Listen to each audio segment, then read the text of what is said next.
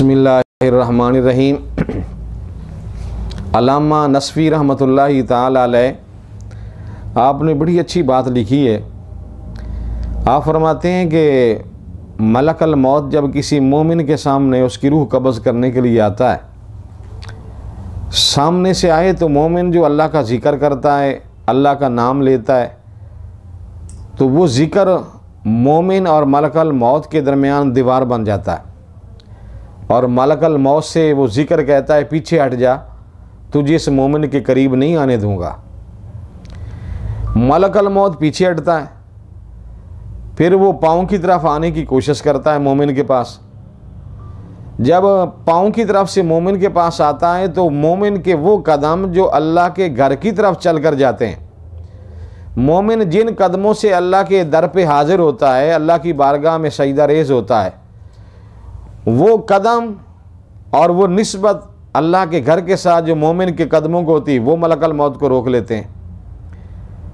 ملک الموت واپس اللہ کے دربار میں حاضر ہو کر عرض کرتا ہے، یا مولا، میں تیرے مومن بندے کے پاس گیا، تیرا حکم تھا روح قبض کرنے کے لیے، اس کا وقت متعین جو تھا وہ پورا ہو چکا ہے۔ سامنے سے گیا ہوں تو ذکر آگے ڈھال بن گیا۔ قدموں کی طرف سے گیا ہوں تو اس کے قدم آگے ڈھال بن گئے۔ اب میں اس کی روح کیسے قبض کروں؟ علامہ نصوی رحمۃ اللہ تعالی علیہ نے بڑی اچھی بات لکھی۔ فرماتے ہیں کہ اللہ تعالیٰ ملک الموت سے فرماتا ہے، میرے مومن کے سامنے نا اپنی ہتھیلی کے اوپر لکھ بسم اللہ الرحمن الرحیم۔ اس کو دکھا۔ تو ملک الموت ہتھیلی کے اوپر لکھ کر بسم اللہ الرحمن الرحیم۔ اس مومن آدمی کو دکھاتا ہے کہ مومن دیکھ اس میں کیا ہے، یہ کیا لکھا ہوا ہے۔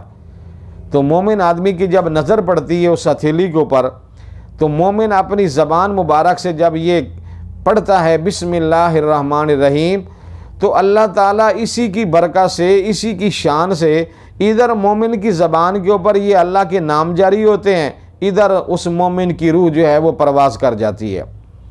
تو علامہ نصوی رحمۃ اللہ تعالی آپ نے فرمایا کہ اس بسم اللہ الرحمن الرحیم کی کتنی عظمت اور شان ہے کہ مومن آدمی کو تکلیف ہی نہیں ہے۔ حالانکہ حدیث پاک میں آتا ہے کہ جب انسان کی روح قبض ہوتی ہے، بڑا مشکل وقت ہوتا ہے۔ اور جب ملک الموت روح نکالتے ہیں، اس وقت انسان کے لیے بڑا تکلیف دہ معاملہ ہوتا ہے۔ لیکن جس کا تعلق یا ذکر جس مومن کی زبان کے اوپر اللہ کے یہ نام جاری رہتے ہیں کہ اللہ، تو اللہ ہے، تو مالک ہے، تو رحمان ہے، تو رحیم ہے، تو اس بسم اللہ الرحمن الرحیم کی برکت سے اس مومن کی روح قبض ہو جاتی ہے اور اسے محسوس ہی نہیں ہوتا ہے۔ اسی طرح مومن آدمی کی روح قبض کرنے کے لیے ملک الموت جب مومن کے پاس آتا ہے اور مومن کی روح قبض کرنے لگتا ہے۔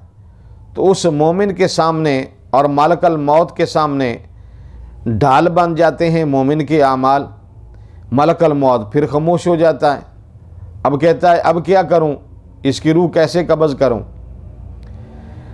ملک الموت واپس جا کر اللہ تعالیٰ کے دربار میں عرض کرتا ہے، یا اللہ، یہ تیرا مومن بندہ ہے، اس کی روح قبض کرنے کے لیے جا رہا ہوں۔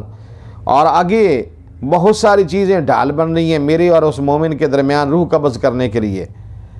اللہ تعالیٰ اس مومن کے اس نیک عمل کی برکت سے ملک الموت سے فرماتا ہے، ایسا کرو، جاؤ جنت میں سے ایک سیب لے کے آؤ اور وہ سیب اس مومن کے سامنے رکھو۔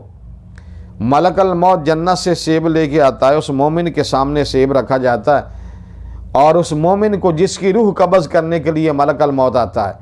اس مومن کو کہا جاتا ہے، دیکھ اس پہ کیا لکھا ہوا ہے۔ جب اس ملک الموت کی نظر پڑتی ہے تو جنت کے سیب کے اوپر لکھا ہوا تھا، بسم اللہ الرحمن الرحیم۔ مومن آدمی جب اس بسم اللہ الرحمن الرحیم کو پڑھتا ہے، جنت کو سیب کو دے کر، ادھر اس کی زبان کے اوپر یہ بسم اللہ الرحمن الرحیم جاری ہوتی ہے وہ جو نزا والا وقت اتنا مشکل وقت ہوتا ہے انسان کے لیے، روح قبض کرنے کا جو مشکل وقت ہوتا ہے، اللہ اس کی برکت سے اتنا آسان فرما دیتا ہے۔ ادھر وہ سیب کے اوپر لکھا ہوا بسم اللہ الرحمن الرحیم پڑھتا ہے، ادھر اپنی جان جو ہے وہ خالق کی حقیقی کے سپرد کر دیتا ہے۔